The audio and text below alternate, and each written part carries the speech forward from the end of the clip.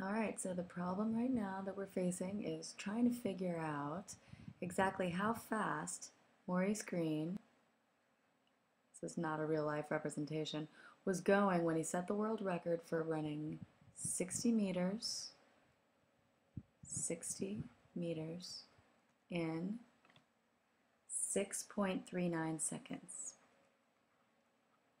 So the question is, what was his final velocity?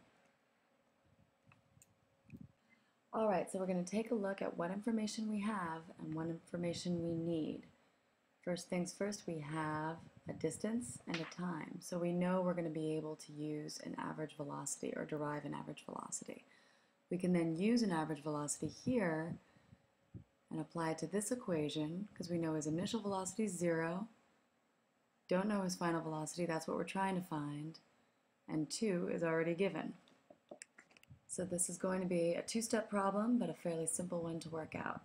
First, as we said, we know the average velocity that he was going when he set the record is equal to 60 meters, which is his displacement, over 6.39 seconds.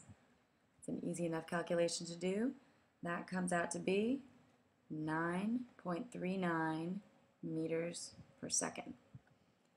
All right, now we have that. That's an average velocity. We also know that average velocity from those kinematic equations is equal to initial velocity plus final velocity over 2. So in our case, it's going to be equal to 0 plus VF over 2. All right, so now we can set it up and say 9.39 meters per second is equal to 0 plus VF over 2. Now we need to isolate VF right over here. So we're going to say VF is equal to 9.39 times 2 minus 0. And that's pretty simple then. VF is equal to 18.78 meters per second. So that means that when Maurice Greene over here ran and ran and ran and ran and reached the finish line, yay, yay, he was going about 42 miles per hour. If you'd like to see how to do the conversion from meters per second to miles per hour, we can make a screencast about dimensional analysis for the next problem. In the meantime, we're going to do part B, which is asking that if he took five seconds to slow down from his initial velocity at that finish line of 18.78 meters per second, we're asking how much ground did he cover during that time if he only took five seconds to slow down. Well, we can use the same process as before, just sort of going backwards.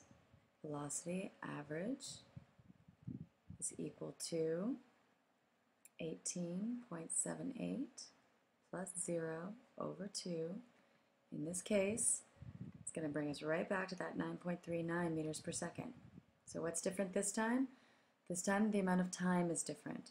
So you're going to have 9.39 meters per second is equal to delta x over 5 seconds.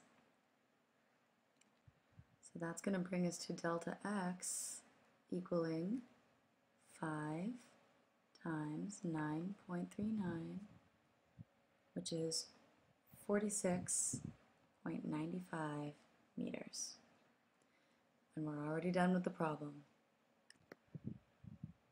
So here's the guy in action, as you can see. Going pretty fast when he hits the finish line. Took a few seconds to slow down. Covered quite a bit of distance, came back. And soon we'll be doing the laws of thermodynamics, so you will see that that actually was just a publicity stunt and didn't really need to happen. All right, guys, see you in class uh, tomorrow.